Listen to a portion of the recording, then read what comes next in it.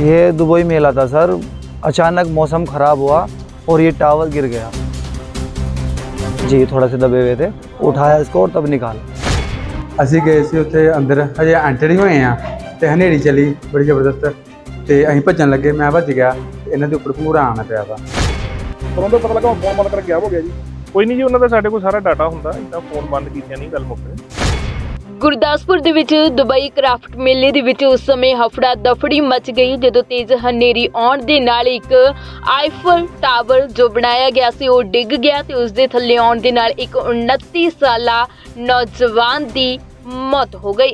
Tower ਡਿੱਗਣ ਦੇ ਨਾਲ ਪੂਰੇ ਮੇਲੇ ਦੇ ਵਿੱਚ ਹਫੜਾ ਦਫੜੀ ਮਚ ਗਈ ਤੇ ਉਸੇ ਵੇਲੇ ਮੇਲੇ ਨੂੰ ਬੰਦ ਕਰਵਾ ਦਿੱਤਾ ਗਿਆ। ਮੌਕੇ ਤੇ ਮੌਜੂਦ ਚਸ਼ਮਦੀਦ ਨੇ ਦੱਸਿਆ ਕਿ ਤੇਜ਼ ਹਨੇਰੀ ਚੱਲਣ ਦੇ ਨਾਲ ਇਹ ਆਈਫਲ ਟਾਵਰ ਡਿੱਗ ਗਿਆ ਜਿਸ ਦੇ ਨਾਲ ਇੱਕ ਨੌਜਵਾਨ ਬੁਰੀ ਤਰ੍ਹਾਂ ਦੇ ਨਾਲ ਉਸ ਦੇ ਥੱਲੇ ਫਸ ਗਿਆ ਤੇ ਉਸ ਦੀ ਮੌਤ ਹੋ ਗਈ मेरा नाम मोनिश है सर तो क्या यहाँ पे हो रहा था कौन सा मिला था ये दुबई मेला था सर अचानक मौसम ख़राब हुआ और ये टावर गिर गया जी और पब्लिक ने हल्ला मचाया इसको उठाओ इसको उठाओ तो मैं भी भाग के आया देखा एक भैया के थोड़ी चोट लगी हुई थी उनको गाड़ी में डाल के लेके गए तुरंत। वो इसके नीचे आ गए थे? जी थोड़ा से दबे हुए थे। उठाया इसको और तब निकाला। कौन थे? वो मैं नहीं जानता भाई साहब। यहाँ पे काम करने वाला था जहाँ? ये ये मैं नहीं जानता। अचानक हुआ ना सब कुछ तो मैंने उनका चेहरा भी नहीं देखा अच्छे से। उनको तुरंत उठा और गाड़ी में डाल के ले गए। दो लोग? जी एक ही देखा मैंने। एक ही जख्मी हुआ जहाँ दो? मैंने एक ही देखा है वो। अचानक हुआ ना एकदम। तो मेरा एक ही पे ध्यान गया वो टावर उठाने में और गाड़ी में करने में। डेथ हो चुकी है उसकी ये तो नहीं मुझे पता। डेथ तो नहीं बाकी थोड़ा सीरियस था बोल नहीं रहे थे वो भैया। जी। क्या लगता है ये कि जो टावर गिरा है जी। थोड़ी सी हवा आने से गिर गया? नहीं नहीं वो तो देखो तूफ़ान है बहुत तेज तूफ़ान था। वो किसी के हाथ में नहीं एकदम अचानक ही गिर गया सर। जी। कितने लोग थे यहाँ पे जब तूफ़ान आया? यहाँ पे लोग तो शायद एक भी नहीं था बाकी बाद में ध्यान नहीं पड़ा ना। देखा तो भैया दबे हुए थे।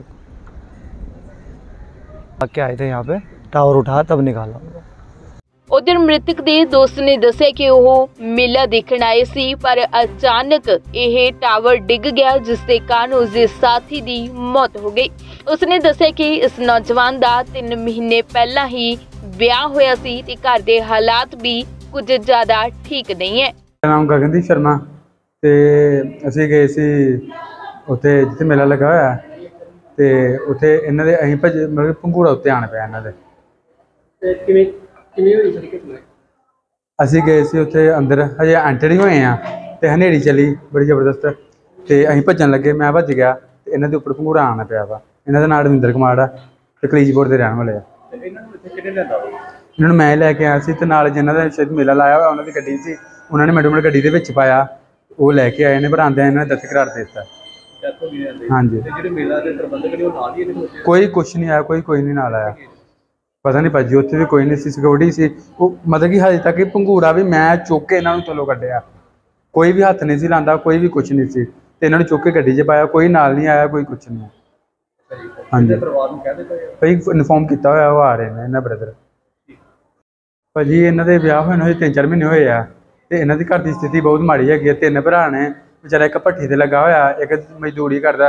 ਇਹ ਵੀ ਵਿਚਾਰੇ ਮਜ਼ਦੂਰੀ, ਮਜ਼ਦੂਰ ਦੇ ਹਿਸਾਬ ਨਾਲ ਹੀ ਆ ਵੀ ਮਜ਼ਦੂਰੀ ਕਰਦੇ ਨੇ। ਤੇ ਘਰ ਦੀ ਸਥਿਤੀ ਹਾਲਾਤ ਬਹੁਤ ਜ਼ਿਆਦਾ ਮਾੜੇ ਹੈਗੇ ਨੇ ਇਹਨਾਂ ਦੇ। ਤੇ ਮੈਂ ਤਾਂ ਕਹਿੰਦਾ ਇਹਨਾਂ ਨੂੰ ਇਨਸਾਫ ਮਿਲ ਜੇ ਤੇ ਬਹੁਤ ਵਧੀਆ। ਕੀਤਾ ਹੋਇਆ ਭਾਜੀ, ਆ ਰਹੇ ਨੇ ਉਹ ਉਧਰ ਇਸ ਮਾਮਲੇ 'ਚ ਐਸਐਚਓ ਨੇ ਦੱਸਿਆ ਕਿ ਇੱਕ ਨੌਜਵਾਨ ਦੀ ਮੌਤ ਹੋਈ ਹੈ ਤੇ ਦੂਜਾ ਨੌਜਵਾਨ ਗੰਭੀਰ ਰੂਪ ਦੇ ਵਿੱਚ ਜ਼ਖਮੀ ਹੋਇਆ। ਉਹਨੇ ਕਿਹਾ ਕਿ ਇਹ ਟਾਵਰ ਕਿਸ ਤਰੀਕੇ ਦੇ ਨਾਲ ਡਿੱਗਿਆ ਟੈਕਨੀਕਲ ਸੀ ਜਾਂ ਫਿਰ ਕੁਦਰਤੀ ਆਫਤ ਦੇ ਨਾਲ ਡਿੱਗਿਆ, ਇਸ ਦੀ ਜਾਂਚ ਕੀਤੀ ਜਾ ਰਹੀ ਹੈ। ਪ੍ਰਬੰਧਕਾਂ ਦੇ ਫੋਨ ਬੰਦ ਕਰਨ ਵਾਲੇ ਇਸ ਸਵਾਲ ਤੇ ਉਹਨਾਂ ਕਿਹਾ ਕਿ ਫੋਨ ਬੰਦ ਕਰਕੇ ਗੱਲ ਨਹੀਂ ਮੁੱਕਣੀ, ਇਸ ਪੂਰੇ ਮਾਮਲੇ ਦੀ ਜਾਂਚ ਕੀਤੀ ਜਾਵੇਗੀ। ਇਹ ਜੀ ਗੁਰੂ ਨਾਨਕ ਪਾਰਕ ਦੇ ਵਿੱਚ ਨਾ ਕਰਾਫਟ ਮੇਲਾ ਲੱਗਾ ਜੀ। ਇੱਥੇ ਇੱਕ ਇਹਨਾਂ ਨੇ ਨਾ ਬਣਾਈਆਂ ਸੀਗੀਆਂ ਰੈਪਲੀਕਾ ਬਣਾਈਆਂ ਸੀਗੀਆਂ ਬਿਲਡਿੰਗਸ ਦੀਆਂ ਜਿਵੇਂ ਬੁਰਜ ਖਲੀਫਾ ਦੀ, ਐਫਲ ਟਾਵਰ ਵਗੈਰਾ ਦੀ।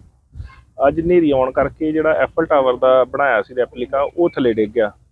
ਤੇ ਉਹਦੇ ਥੱਲੇ ਇੱਕ ਰਵਿੰਦਰ ਕੁਮਾਰ ਮੁੰਡਾ ਸੀ ਕਲੀਚਪੁਰ ਦਾ ਜਿਹੜਾ ਥੱਲੇ ਆਉਣ ਕਰਕੇ ਉਹਦੀ ਡੈਥ ਹੋ ਗਈ ਆ ਤੇ ਇੱਕ ਮੁੰਡਾ ਜ਼ਖਮੀ ਹੋਇਆ। ਤੇ ਉਹਨੂੰ ਹਸਪਤਾਲ ਦੇ ਵਿੱਚ ਜਿਹੜੀ ਉਹਦੀ ਜੇਰੇ ਇਲਾਜ ਆ ਤੇ ਬਾਕੀ ਅਸੀਂ ਇਹ ਵੈਰੀਫਾਈ ਕਰ ਰਹੇ ਹਾਂ ਵੀ ਇਹ ਕਿਦਾਂ ਡਿੱਗਿਆ ਕਿਦਾਂ ਹਵਾ ਨਾਲ ਡਿੱਗਿਆ ਕਿ ਜਾਂ ਇਹਦਾ ਕੋਈ ਸਟਰਕਚਰ ਜਿਹੜਾ ਵੀਕ ਸੀ ਉਸ ਕੋਈ ਵਜ੍ਹਾ ਟੈਕਨੀਕਲ ਸੀ ਕਿ ਕੁਦਰਤੀ ਫਾਲਟ ਸੀ? ਤੇ ਪ੍ਰਬੰਧਕ ਖਿਲਾਫ ਕੋਈ ਕਾਨੂੰਨੀ ਕਾਰਵਾਈ ਕੀਤੀ ਜਾ ਰਹੀ ਬਿਲਕੁਲ ਕੀਤੀ ਜਾਏਗੀ ਪ੍ਰਬੰਧਕ ਪਤਾ ਲੱਗਾ ਫੋਨ ਬੰਦ ਕਰਕੇ ਗਾਇਬ ਹੋ ਗਿਆ ਜੀ। ਕੋਈ ਨਹੀਂ ਜੀ ਉਹਨਾਂ ਦਾ ਸਾਡੇ ਕੋਲ ਸਾਰਾ ਡਾਟਾ ਹੁੰਦਾ ਇਦਾਂ ਫੋਨ ਬੰਦ ਕੀਤਿਆਂ ਨਹੀਂ ਗੱਲ ਮੁੱਕਣੀ। ਆਪਾਂ ਜੋ ਵੀ ਆ ਐਸ ਪਰ ਲਾ ਜੋ ਐਕਸ਼ਨ ਹੋਊਗਾ ਲਿਆ ਜਾਏਗਾ। ਫਸਟ ਏਡ ਦਾ ਇਹ ਵੀ ਵੈਰੀਫਾਈ ਕਰਦੇ ਆ ਜੀ ਵੀ ਫਸਟ ਏਡ ਇੱਥੇ ਸੀ ਮੇਲਾ ਕਰਾਉਂਦੇ ਫਸਟ ਏਡ ਪ੍ਰਬੰਧ ਨਹੀਂ ਕਰਦੇ ਕੋਈ ਇੱਥੇ ਟੀਮ ਕੋਈ? ਇੱਥੇ ਜੀ ਸਾਰੀਆਂ ਪਰਮਿਸ਼ਨਾਂ ਲੈਣੀਆਂ ਪੈਂਦੀਆਂ ਨੇ ਇੱਥੇ ਮਤਲਬ ਵੀ ਮੇਲਾ ਪਬਲਿਕਲੀ ਖੁੱਲਦਾ ਹੀ ਸ਼ਾਮ ਨੂੰ ਆ। ਉਹ ਹੁਣ ਇਹ ਵੈਰੀਫਾਈ ਕਰਨਾ ਵੀ ਉਹ ਪਹਿਲਾਂ ਅੰਦਰ ਕਿੱਦਾਂ ਆਇਆ। ਵੀ ਉਹਨੇ ਇੱਥੇ ਕੋਈ ਮਤਲਬ ਕਿਸੇ ਦੇ ਸ਼ਾਪ ਵਾਲੇ ਦੇ ਕਹਿਣ ਤੇ ਆਇਆ ਜਾਂ ਪ੍ਰਬੰਧਕਾਂ ਦੇ ਕਹਿਣ ਤੇ ਆਇਆ ਸੀ ਇਹ ਵੀ ਗੱਲ ਵੈਰੀਫਾਈ ਕਰਨਾ। ਦੱਸੀ ਕਿ ਮ੍ਰਿਤਕ ਨੌਜਵਾਨ ਦਾ 3 ਮਹੀਨੇ ਪਹਿਲਾਂ ਹੀ ਵਿਆਹ ਹੋਇਆ ਸੀ।